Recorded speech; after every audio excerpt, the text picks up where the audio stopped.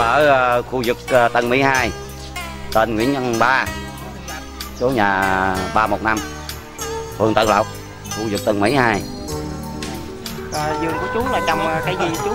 Trồng ờ, mận hồng đầu đá dạ, hồng phước. Dạ là trồng bao nhiêu năm rồi chú? Khoảng mười mấy năm rồi. Năm. Dạ bây giờ cho thu hoạch rồi đó chú ha. Dạ.